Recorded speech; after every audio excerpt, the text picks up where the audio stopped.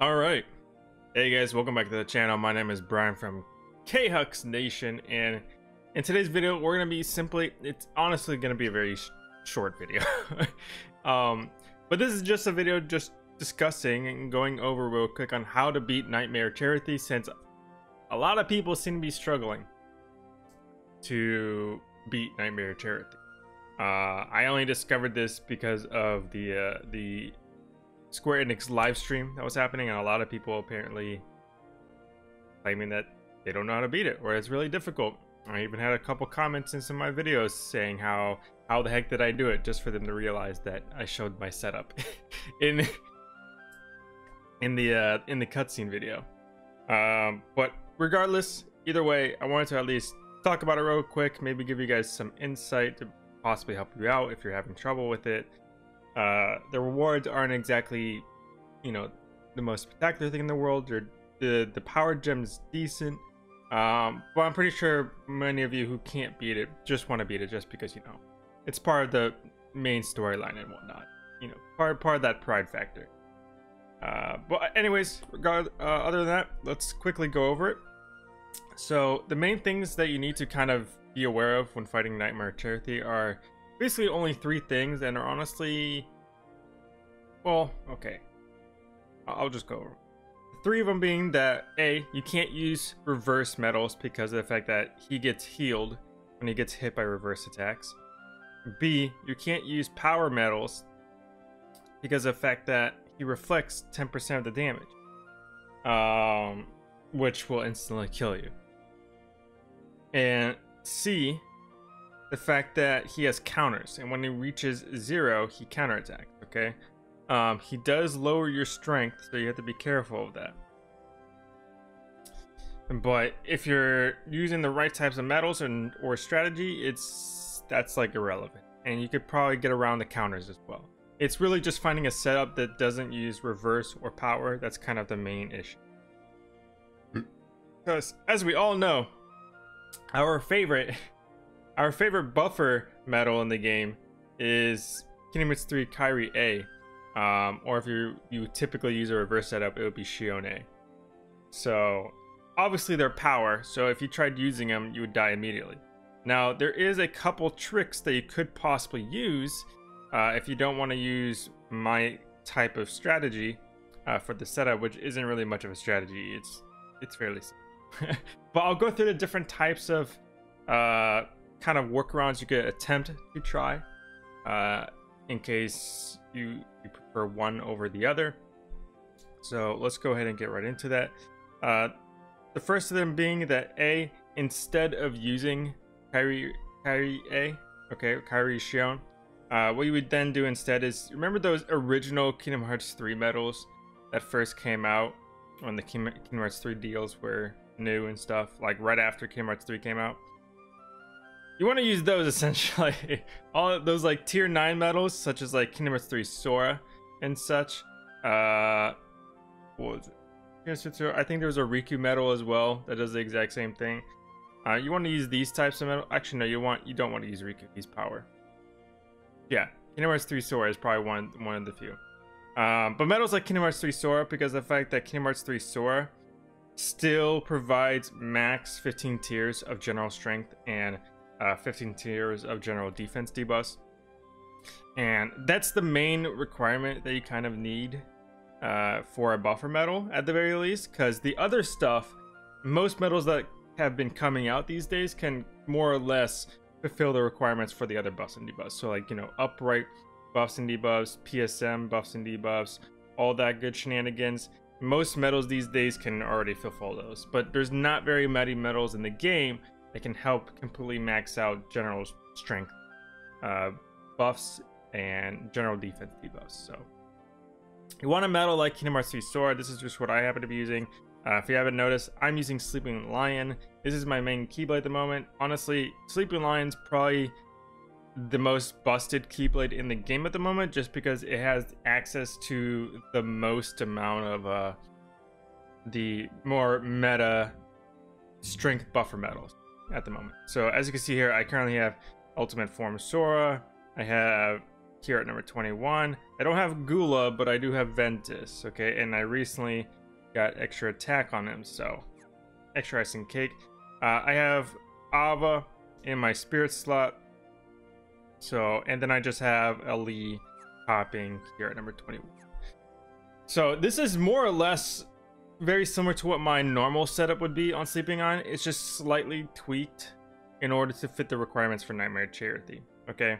Now, in case you don't want to use a buffer medal, such as like Kingdom Hearts 3 Sora, there is a way for you to work around not having a secondary good buffer medal they might have. So maybe like you're a newer player or something, and you don't have like as vast a collection of medals like I do, for example. Uh, there is one small trick that you could do uh, to kind of bypass that, which is where as long as the first slot of your Keyblade is not a power slot, you can still use Kairi A uh, or even Xion for that matter. You can use Kairi or Xion A, preferably Kairi A because you can't really use reverse medals uh, in the set in your setup anyways.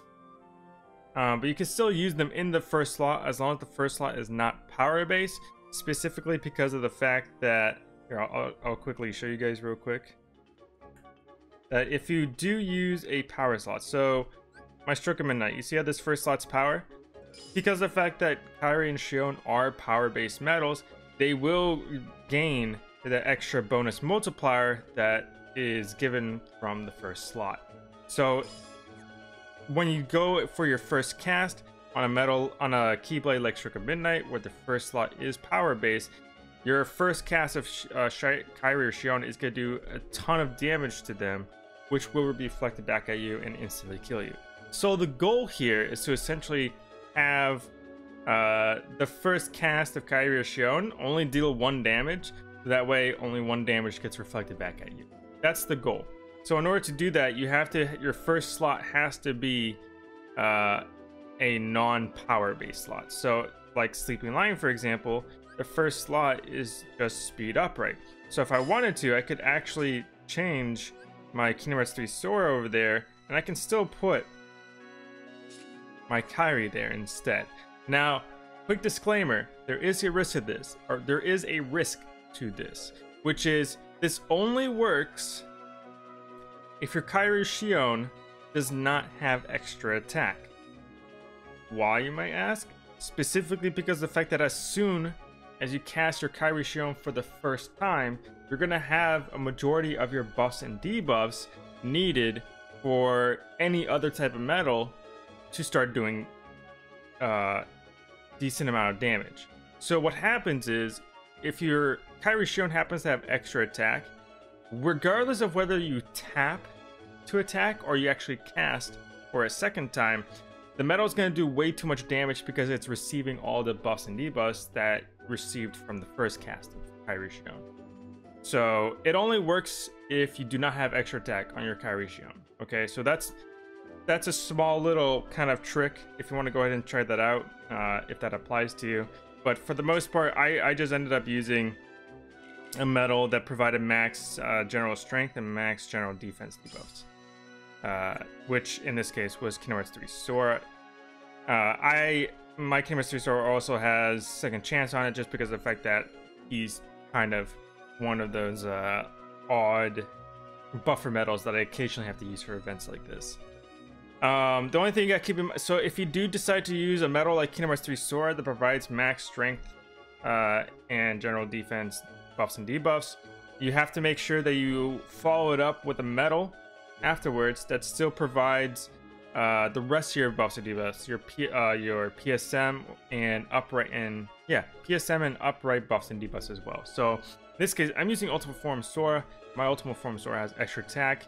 Even if it didn't have all of the other traits, as long as it had the extra attack, that's all I really needed. Is the fact that he provides everything I just listed for me, okay? He's basically the other half of a Kairi or Xion that you're missing, okay? So I was using him.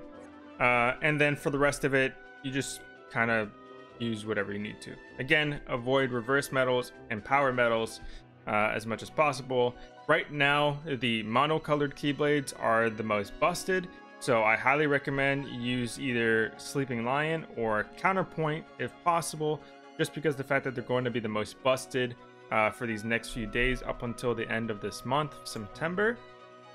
Okay, what we got? We got about like eight, nine days left before the boosters expire. Uh, because the fact that they just recently added the 1.6 multiplier to monocolored keyblades, and we still have the boosters for this month for monocolored keyblades as well. Uh, monocolored keyblades are by far the most busted keyblades in the format right now. Uh, like you can see the multipliers on my keyblades. Like my fifth slot, my Sleeping Lion has like a 10 times multiplier. That's insane. Whereas if I go to uh, like fairy stars, it's only at like a almost a seven times multiplier. That's a big difference. So definitely take advantage of the monocolor keyblades as much as possible. Now in terms of uh, my setup, you might have to adjust it according to what you currently have. But if you're looking to try something that's more meta, uh, I highly recommend you try to use as many medals as possible that increase uh, your medal's strength value in some way, shape, or form. So like key art number, uh, yeah, key art number 21, for example, provides a general strength buff to all medals afterwards by 1500. Uh, I have Lee copying. Ultimate Form Sora does the same thing, but for upright medals. Ventus does it for speed medals, and then Ava does it for all medal. Okay, so you just want as many of these as possible on a single Keyblade as you can. Uh, if you don't have enough, that's fine. I think you can still do it without it. It just might be a little bit more difficult. So in case you're wondering what my traits are for all my medals, uh, I'll go ahead. There's the full list. You just want to quick it. I pretty much almost every single medal on my setup has extra attack except Kingdom Hearts 3 Sora. Um, only a handful of them, only like half of them have uh, strength and like minus 60. I don't think you need the minus 60 though, to be honest, in order to beat it. As long as the medals themselves have the strength buffs, you should be fine. Um, the way that my setup is right now, I can beat Nightmare Chair in about a turn and a half. So I'm willing to bet that without the extra special, you know, spice that my metal self, like the the traits and such, you you could you could probably beat it within three turns, like on the third turn or something.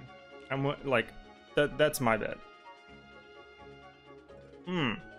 All right. So without further ado, let me go ahead and actually play the quest for you guys so you can go ahead and check it out. Uh, for my friend medal, I am using one of my friends' Gula that they currently have just because I find that, well, it does fit Sleeping Lion. It just helps make my, my setup more busted. Um, although, if you don't have a Gula, don't worry. That's that's fine. You can still use any other friend medal that's like a hopefully a tier 10 medal and you should be fairly fine. Just remember to make sure it's not a power or a reverse type. All right. So starting off, the main things that we need to keep track of are just simply the fact that he gets healed when using reverse medals, as well as the fact that he reflects power-based attack.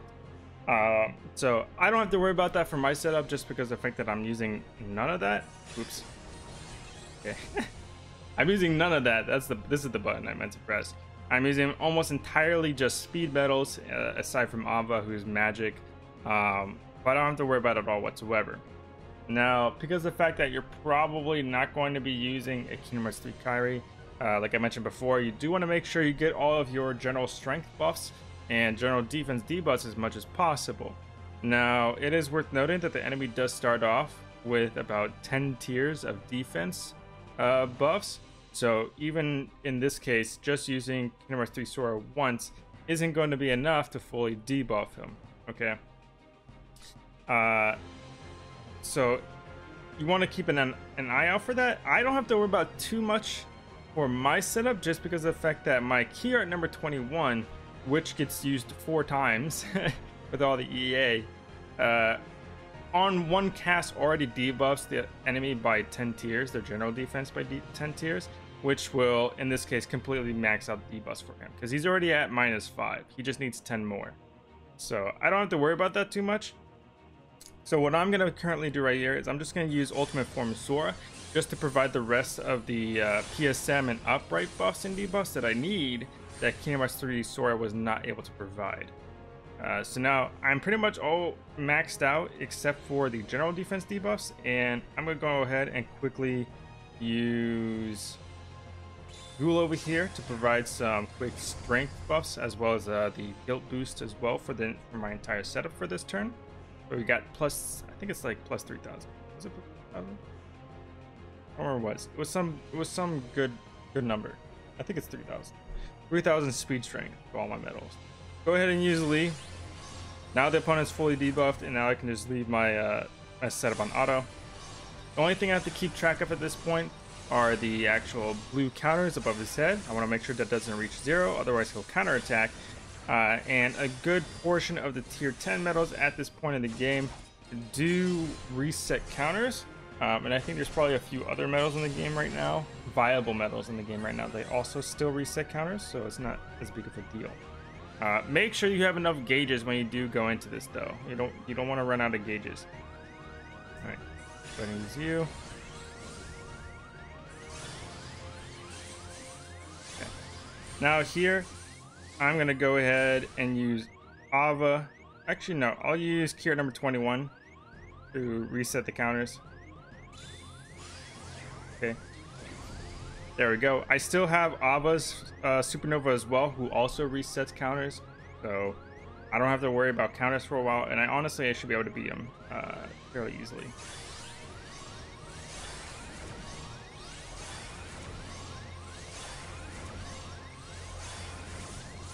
There we go. That's how you beat Nightmare Chirithy. Or at least that's how I beat Nightmare Chirithy. Alright. Again, keep in mind that if you don't have enough damage medals, or or should I say, let me clarify, you don't have as good damage medals that I do, don't worry. I'm pretty sure you could still do it.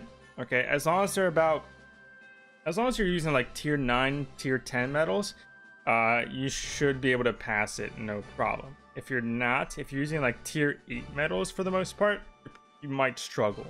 Just because the fact that oh, just because of the fact that uh, many of the tier 8 medals at this at, at the moment in this game uh, don't have nearly as high of a strength value compared to tier 9 and tier 10 medals right now.